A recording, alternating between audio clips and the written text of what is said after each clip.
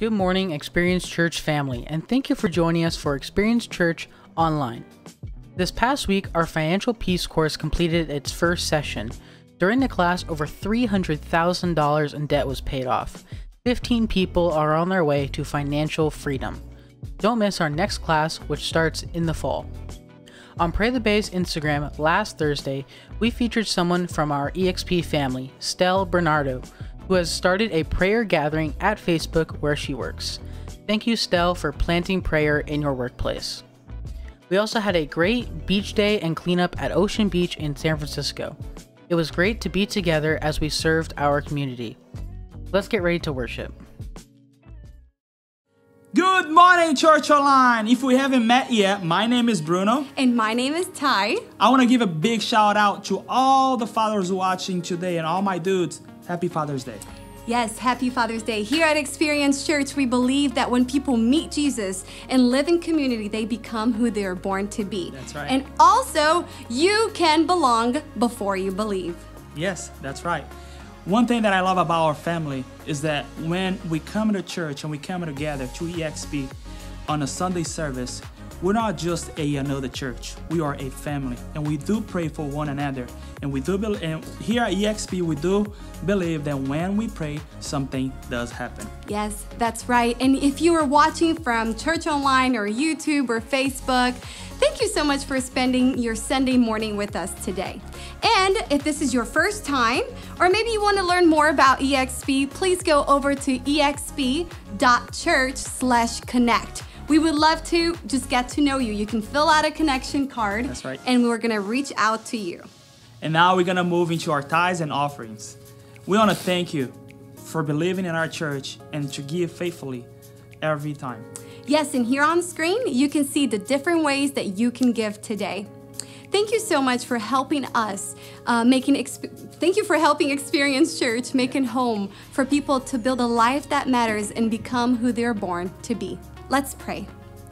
Father, thank you so much that you are a generous God. Thank you that you love to give good gifts.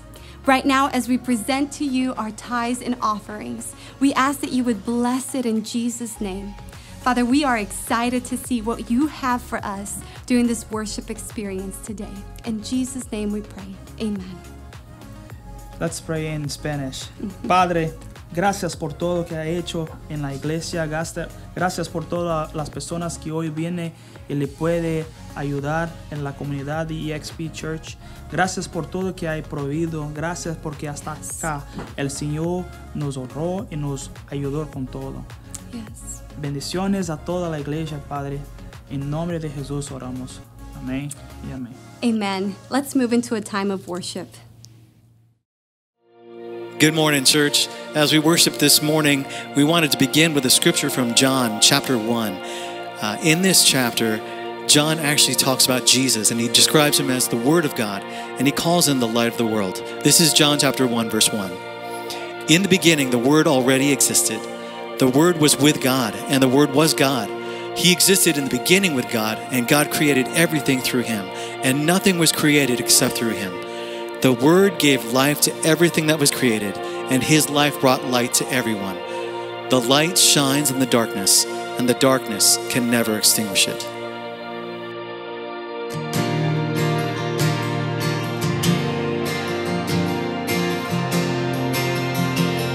Come on, let's lift our voices together.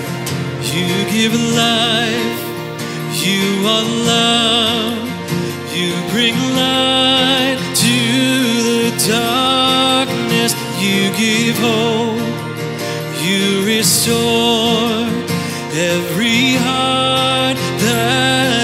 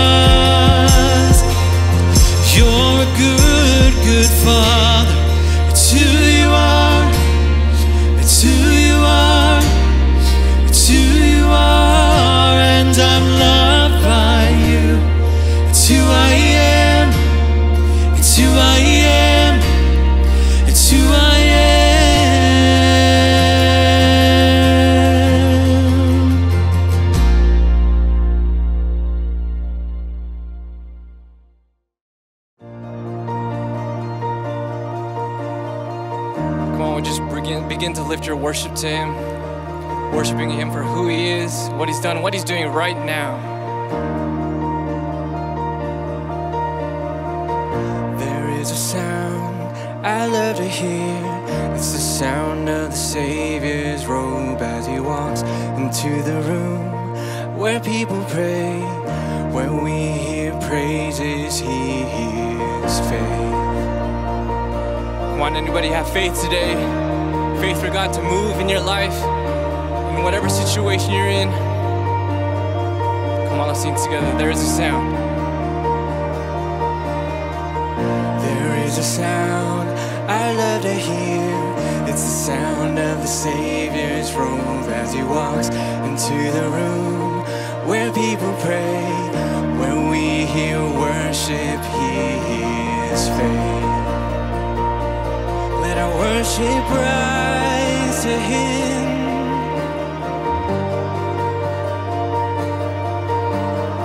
Awake our souls, Lord, to you. Awake my soul and sing, sing his praise aloud, sing his praise aloud.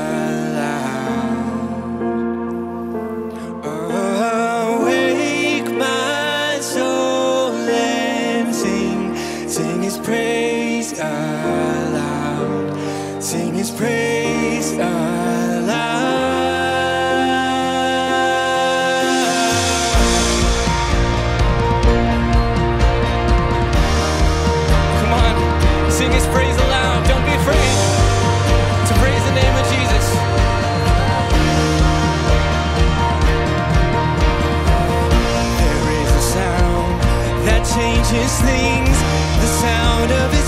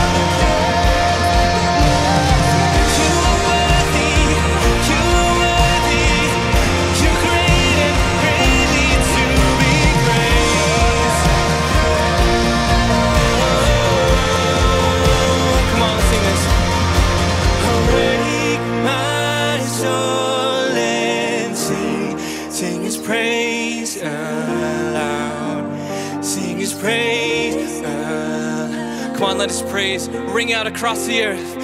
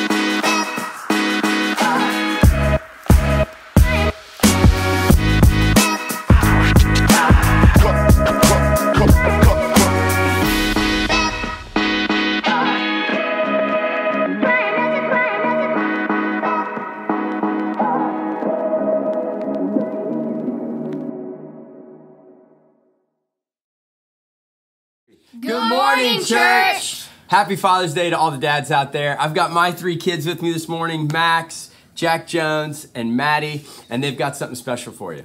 Yeah, so today I want to share with you guys a dad joke about golf. So if you like golf, you're going to like this one. All right, making sure you bring two pairs of pants when you go golfing. Now, you guys are probably asking why. Like, Yeah. just why? Why? Just in case you get a hole in one. I also have a dad joke for you. Okay. What's a bunny's favorite type of music? What is it? What? Hip hop! Ha ah. ha ha. Ha ha. All right, and then the last dad joke. Police, I need help.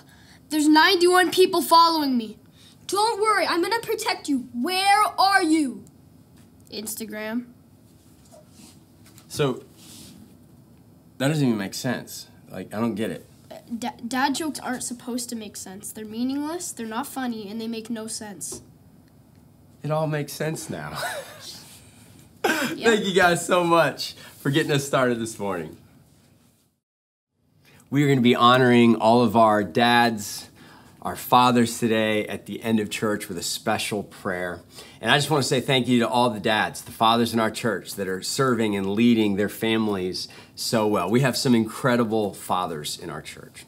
We're going to continue on in our teaching today in Romans 8 called Spiritual Life. We're going verse by verse through Romans 8. And we've covered a lot in the, the past few weeks. We've talked about identity, we've talked about freedom and forgiveness. We've tried to make sense of our suffering, and we've learned how God uses suffering to actually benefit us. We've talked about our thinking and, and how God wants to help us think healthy thoughts and positive thoughts that actually help our life.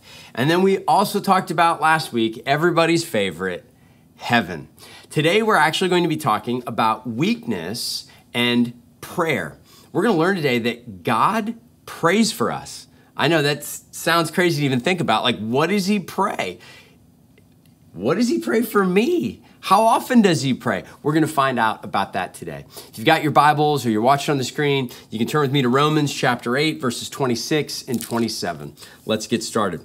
Likewise, the Spirit, the Holy Spirit, helps us in our weakness, for we do not know what to pray. I don't know about you, but that's me a lot.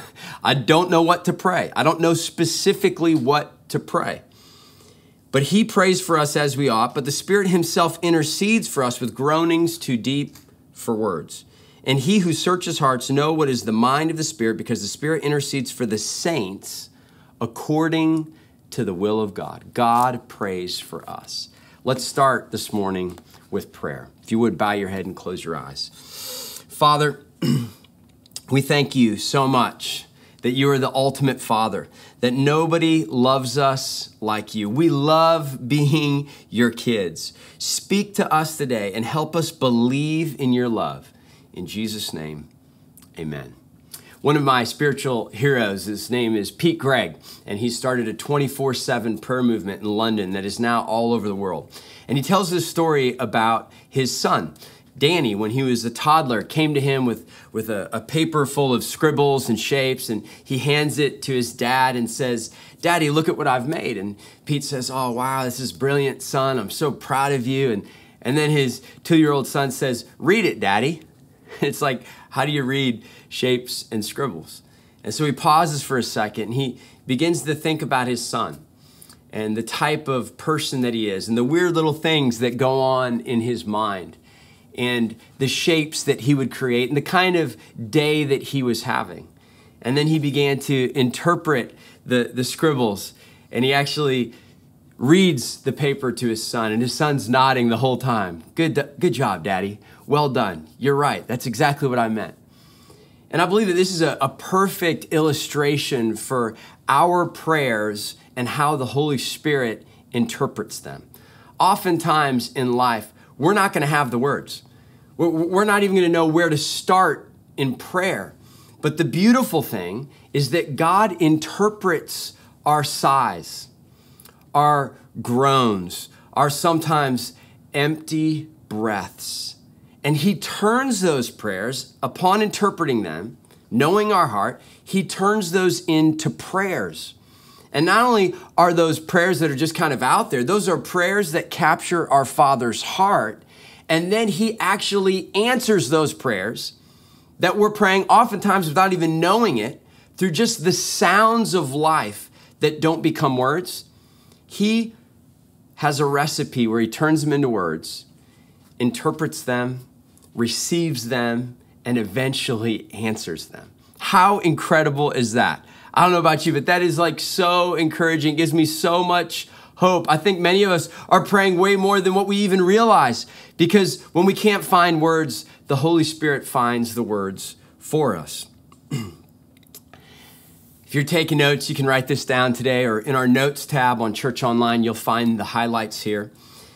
God gets our prayers even when we don't. even when we don't know what to pray or, or how to pray or what to say, He gets us. He knows our hearts the weird little things that come into our mind, the type of day that we're having, our personality and who we are. He gets us and our prayers even when we don't. My uh, little nephew, his name is Benny, and uh, when he was really little, he would he would cry out with one of his few words, and he would say, "Bop, bop, bop." and his parents, my little brother, they, they didn't know what he was saying, and they would try to give him a toy or a pacifier, or a blanket, or or something. And he was he was just so passionate and direct, and he he knew exactly what he was communicating, even though his parents didn't. And then eventually they figured out bop meant food. I guess it's the shortened form of food. It's only three letters instead of four. And he was saying, Feed me. I need it now. I, I want food now. And he would cry out, Bop, bop, bop. And I think it's in, in, in, the same way where, where we have a cry that comes within us for maybe change or healing or breakthrough. And we can't fully capture it with words, but it, it's a feeling, it's, it's something deep within. And the Holy Spirit gets us even when we don't get us in prayer, even when we can't form words. The Holy Spirit interprets, He receives, and he answers those as prayer. Mike Bickle, pastor and founder of IHOP, International House of Prayer in Kansas City, says this Our weak prayer times may not move us, but they move the heart of God. Wow, that's so encouraging to hear. He continues on. Some people assume that they that because they do not feel anything when they pray, that's me. I would say most of the time I don't feel anything when I pray. He says that God must not be feeling anything. So the thought is, is hey, I'm not feeling anything when I pray. God must not be feeling anything. He continues on. They conclude that their weak prayers are ineffectual and may even despise them. The truth is that we offer our prayers in human weakness. All of us do. But they ascend to God in power because of the sufficiency of Jesus and because they are in agreement with God's heart. Others believe they're growing in prayer if they feel good during their prayer times. Now, I love that when I feel good in my prayer times, but that's that's actually kind of rare. Then he says this they wrongly conclude that their prayers are meaningless when they feel dry and distracted. Dry, distracted prayers that feel empty and meaningless are powerful. The Holy Spirit interprets them, receives them, and answers them. That is good news. And I've believed this lie. I've believed this lie before that. Uh, my, my feeling of weakness or lack of feeling or even a numbness when I'm praying, that it, it, makes my prayers ineffective. It makes my prayers feel weak. I've even had times where I've believed this lie and it's actually kept me from praying. I didn't want to pray because I didn't feel anything. I felt like they weren't even worth praying. Why bother? It's not even a big deal. But we know that's not true, that all of our prayers are effective. All of our prayers count. God is listening to every one of our prayers with words and without words. And you may be one of those people that doesn't like to pray out loud, and that's good news for you. But the Bible also says that we are to give words to our prayer. We don't only pray with sounds and, and feelings from within. We use words, and that's what we see mostly in the Bible is we see people finding words for their prayers. But even when we can't find the words, the Holy Spirit finds them for us. See, there's a big difference between feeling weak and being weak. See, being weak is actually not praying. I know that could maybe sting a little bit, but let me unpack this. See, not praying is choosing to stay weak. It's one thing to feel weak, it's another thing to be weak. We get weak and we are weak when we don't pray. See, as we pray, we actually receive strength. And prayerlessness is actually refusing to receive strength. We receive strength when we pray. And so we're not to avoid our weaknesses or try to cover our weaknesses. We live in a, a world and a modern society where we kind of shame weakness. We're actually to bring our weakness, confront our weakness, face our weakness, embrace our weakness, but we do it in prayer. We bring that weakness to God when we feel weak, or maybe we've even grown weak or weary. We come to God with it. And in that place of prayer, He actually meets us, and that weakness is actually transformed to strength. And so we've got to embrace our weakness through prayer. And we're in a culture that doesn't really do that. When was the last time you were interviewed or you were a part of an interview and you heard someone talk all about their weaknesses? We, we, we don't hear that. We see in the scripture, Paul does. He actually, in this upside down kingdom, is countercultural and he actually boasts of his weaknesses because he knows this. Jesus told him this in 2 Corinthians 12. He said that Jesus came to him and said, My power is made perfect in weakness. Imagine if we saw weakness as an open door to God's perfect strength and power. I think all of us would invite him into that weakness and so much more prayer would be done. See, I want to speak real quick to the fathers. I know we're called to be macho men and strong and courageous all the time, and we're to lead our families spiritually, and, and we're to have a solution to every problem and be able to fix everything, and but we don't, and we can't. As a dad, I feel overwhelmed often, sometimes exhausted outmatched, not up to speed. I feel many times like I don't have what it takes. And the trouble with being a dad is we don't really know how we're doing for decades. I won't really know how I'm doing as a dad by how even my kids do, but it's really how my kids parent and how their kids do is how effective I am as a father. And so, as fathers, I think oftentimes we feel weak.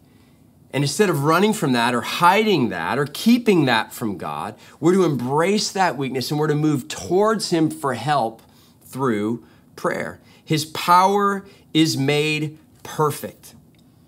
And this is the beauty of weakness is weakness shows us that we need help. We need strength. We cannot do it on our own. And this is what prayer does prayer acknowledges our need for help.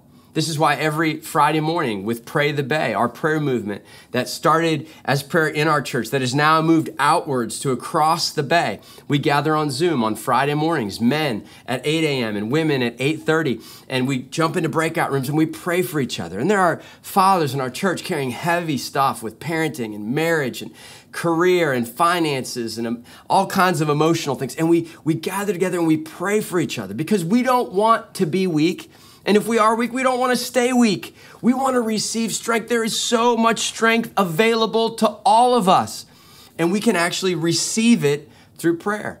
And that's what prayer does. Prayer acknowledges that I need help. I don't have it all figured out.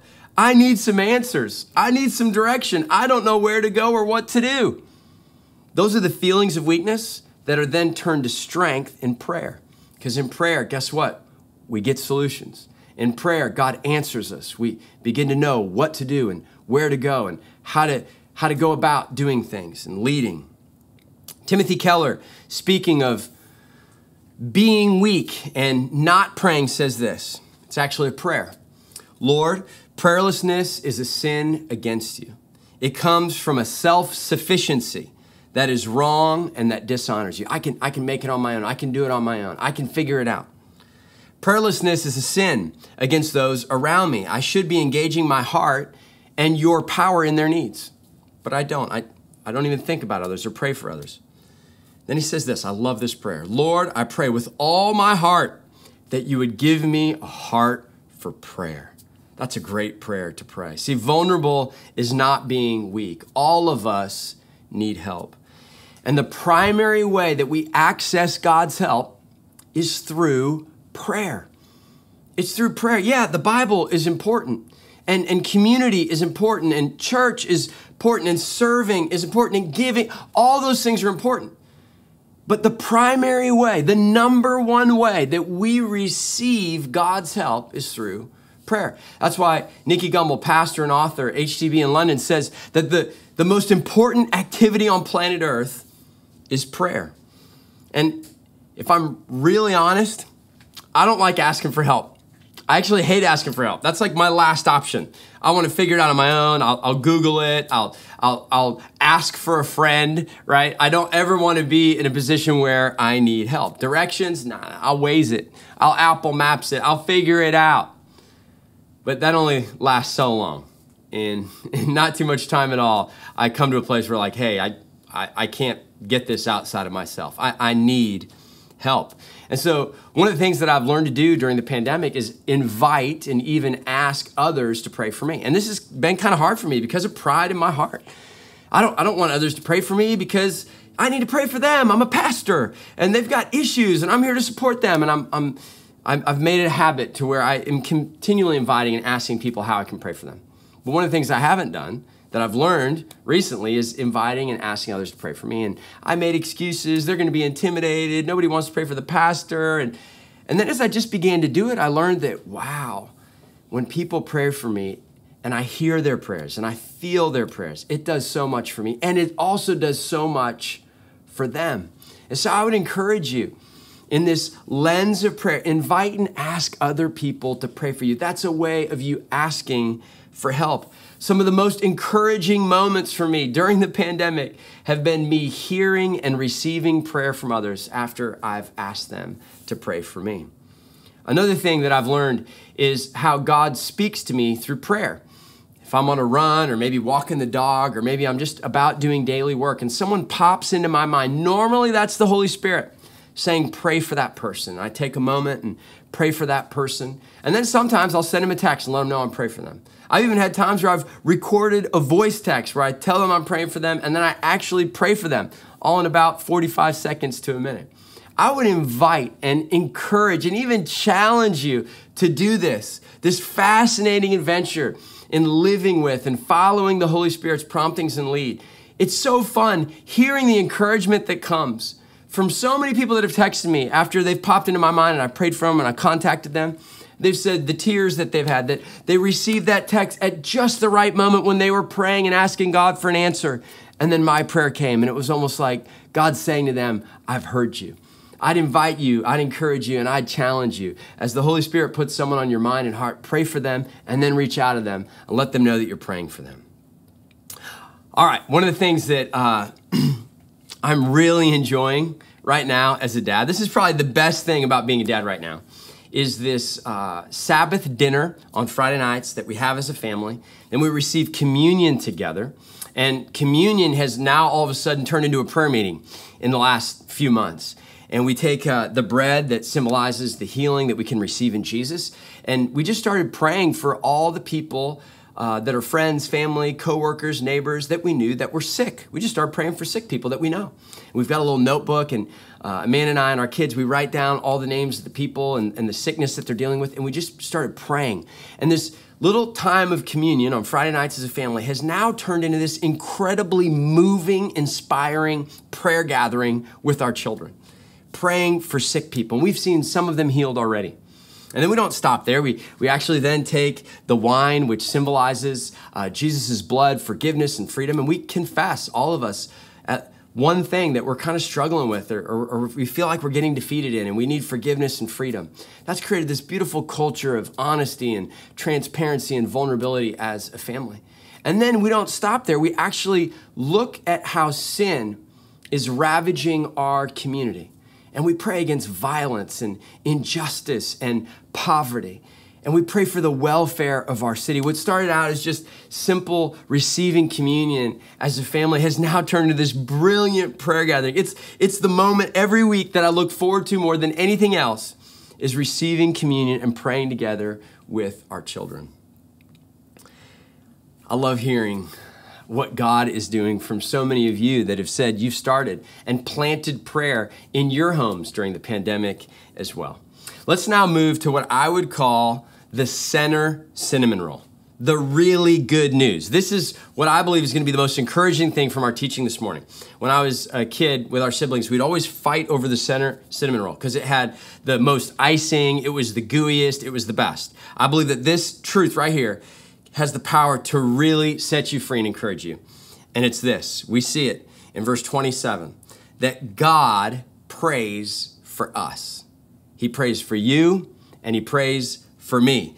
The Bible says that the Holy Spirit intercedes for us, He's always praying for us.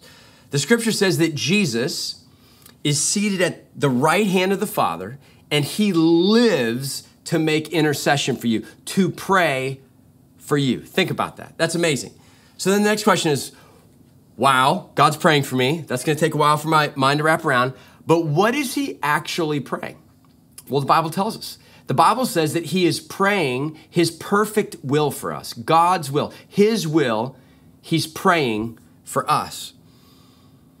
And his will for us is always good for us. We're going to talk about this a little bit next week. His will may not always look good or feel good. It may not even always make sense. But what we'll learn from his perspective, from his vantage point and viewpoint, his will for us is always good. We're going to be talking about that in depth next week. One of the prayers that we see that Jesus had for Peter was this. He says, Satan has demanded to have you that he may sift you like wheat. So Satan wants to have Peter killed, executed, murdered. But here's Jesus' prayer I have prayed for you that your faith may not fail. Now, I would have thought Jesus would have prayed for protection or a way of escape. That's not what he prayed. He prayed that Peter's faith would not fail. Wow. We get a glimpse of what God prays for us. Now, I want you to think about this today. If prayer is the most important activity on earth, and God Himself prays, that shows you how important it is to God that God Himself prays. How much more should we pray? See, God continually prays His will for us because we don't. I think we know very little of the fullness of His will for our lives. We don't know His will for us like He does for us. And it's so easy to pray our will and not His. And what I've learned is the primary reason why God doesn't answer my prayers when I want Him to is because my prayers are way too small. I pray my will, which is actually much smaller than His will, and so He waits me out. He, he wants me to keep praying. And as I pray, what happens is my prayers grow and they grow eventually to come to the place where it matches up with His will. Because His will for me and my life is always way bigger than what I think or what I see. And so He actually rescues me from answering my small prayers so that they grow to become big prayers because that's actually His will. Some of you have been wondering, maybe that's the answer to some of the answers you have not yet received in prayer. God wants to grow those prayers to match up with His will. And I think when we talk about God's will, it can be mysterious. We know God's general will from the scripture, the Bible teaches us that, but His specific will. For students out there that are uh, you're in school and what should my major be and what should my career be? And you're trying to figure out specifically. And then maybe you you move into your career but it's what job do i take? And what company do i work for? And do i make the long commute or do i work for someone close by? It could even be uh, a house housing situation. You're single. Do i get roommates? Can i afford that? Do i live in this complex or that complex do I buy this house in that neighborhood with the school districts, or do I go over here where maybe I feel like God's calling me? The specific will of God requires prayer in order for us to receive it and get it and live it. And so, even those singles out there, you're wondering, I, I want to be married someday. I want to have a relationship. I want to have a family. Do I use the dating apps or do I just meet someone random? How do I do that? Specifically, God's will that comes to us through prayer. And the beauty is that the Holy Spirit and Jesus Himself are already praying that will for you constantly every single day. I'll never forget a pastor friend of mine who had a story of someone in his church, a businessman that came to him and was frustrated with his job and had some issues. And, and so he prayed for him to receive a new job. And it was about a week later, the, the businessman stomps into his office, angry and upset, and says, Pastor, we prayed for a new job, and then a week later, I got fired. I got let go. They downsized the company. And the pastor said to him, he said, Well, well, how are you going to get a better job if you don't get rid of the job you've got? How are you going to get a, a new job, the better job you want, without getting rid of the one you got? And so they, they prayed again. And sure enough, it was literally a week later, the competitor that this man was actually working against reached out to him. They found out that he had lost his job reach out to him. They offer him a job with a much higher salary, better benefit package. It ended up being a much better working environment. See, we don't always know God's will specifically, but we know that his will for us is always good for us. So here's a really great prayer to pray. And I, I want all of us to pray this together. It's really short, it's simple, but it's powerful. Holy Spirit, help me know, pray, and do your will. Now, think about that. I can't do his will if I don't know his will, and I'll never know his will if I don't pray for his will. I actually need to know it, I actually need to pray for it so that I can actually do it, I can live it. The life you long for is in knowing, praying for, and ultimately doing, living God's will for your life. What a great prayer. All right, I want to move towards our closing today by honoring our dads. But the first people I want to speak to are those people that have lost a dad. Maybe you've even lost your dad to COVID during the pandemic. We are so sorry for your loss. That's heavy and that's hard. Maybe you lost your dad to sickness decades ago, but you still feel the sting of that loss. Maybe you lost your dad to divorce, where after the split, you, you rarely see him, or maybe there's a strain on the relationship. Maybe you never really had a dad around due to incarceration, or maybe an early death, or maybe you, you had a dad, but he wasn't really there. He was present, but emotionally absent. That pain and that loss is, is heavy and dark and hard and we offer our grief and condolences with you. The Bible says in Psalm 68 here's good news to you that He, our Heavenly Father, is the Father to the fatherless. The Father to the fatherless. And His message, the Heavenly Father's message to every one of us, His kids, is simple You are loved. That's right. Receive the Heavenly Father's love today. Fatherlessness is a real thing. In America, we are the most fatherless nation in the world. An estimated 24.7 million children, 33%, one of three kids in America live absent from their biological father today. Because of premarital births and uh, continuing high divorce rate, the proportion of kids living in single family homes has doubled in the last 50 years. And if you are a single parent, we champion you. We do not shame you. We love you. We believe in you. We pray for double portions of grace to do what you're doing. You're incredible. Thank you so much for doing what you're doing. We honor you and bless you. There is a, in, in, there was a study done, and in America, 72% of people in our population as Americans said that father, fatherlessness is the most significant family and social problem facing America. A leading psychologist said if it were classified as a disease, fatherlessness would be an epidemic worthy of attention as a national emergency. We need godly fathers in our country. And so I want us to pray right now for our fathers. If you're watching and you're a father, please stand on your feet wherever you are. If you've got people around you, let's extend our hands to our fathers this morning. And I want us to pray this prayer that we've written specifically for our dads. I want us to pray it together out loud. We're going to pray this over our fathers today. Let's pray it together. Loving Father, we thank you for the gift of family, and especially the gift of our fathers. You made the family a community of love where we can grow up to become who we are born to be. Bless our fathers as they follow your son, Jesus. Let their faith, hope, and love shine in our families and show us the way to you. Strengthen our fathers as they serve our families and communities. May their example reflect your protective care for all of us.